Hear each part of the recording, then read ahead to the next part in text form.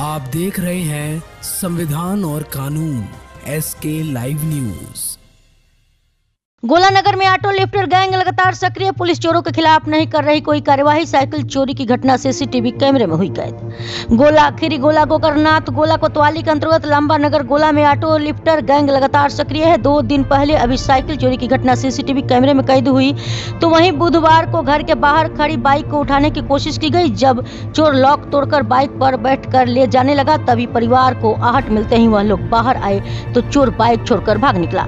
यह पूरी घटना घर के बाहर लगे सीसीटीवी कैमरे में कैद हुई घटना। गोला नगर के खुटार रोडी स्थित गुरु नानक कन्या डिग्री कॉलेज के निकट मोहल्ला लंबा नगर का है। निवासी अमीन नगर बांकेगंज थाना मैलानी इंजीनियर सदाब उर्फ़ रबी सिद्दकी बुधवार को अपने फूफा नियामत अली सिद्दकी के घर गए हुए थे। घर के बाहर दोपहर लगभग एक बजकर तीस मिनट पर मोटरसाइकिल खड़ी कर अंदर चला गए।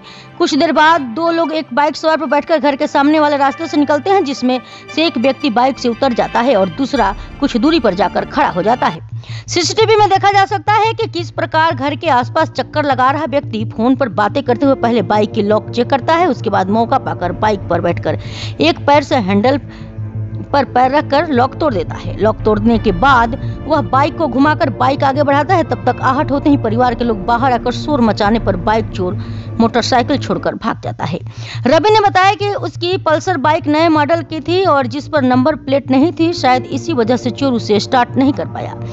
यदि यही कोई अन्य बाइक, स्प्लेंडर या प्लेटिना की होती तो चोर लेकर फरार हो जाता। सीसीटीवी फुटेज के साथ मोहम्मद सदाब सिद्दीकी ने चोर उच्चकों के गैंग को पकड़ने व उनके विरुद्ध कार्यवाही की मांग को लेकर गोला कोतवाली में तहरीर दे दी है। खबरों के लेटेस्ट अपडेट के लिए इसी तरह हमारे साथ जुड़े रहें और इस वीडियो को ज़्यादा से ज़्यादा शेयर करें।